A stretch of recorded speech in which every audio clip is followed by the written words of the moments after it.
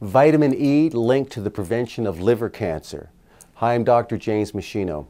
You know, there was a study published on July 17, 2012 in the Journal of the National Cancer Institute.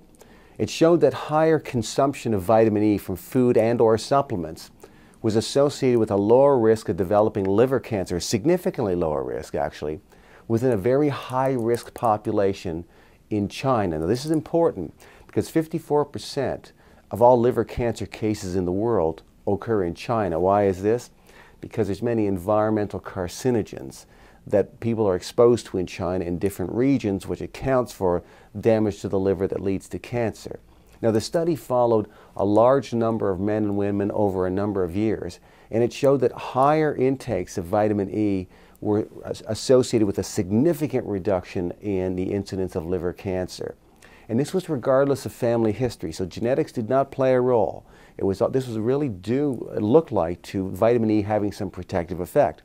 Experimental evidence shows us that vitamin E has a, a, number of mechanisms through which it actually protects the liver from carcinogenic changes.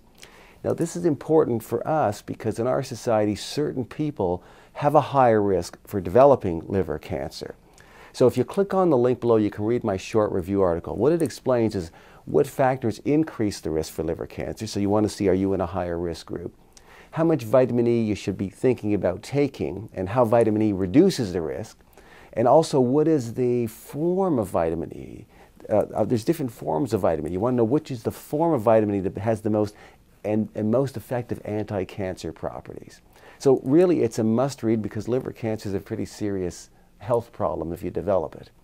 So all the scientific references are there so you see where the information came from. Uh, it, it's a really, a, click on the link below, read the article, I think you'll find it worthwhile.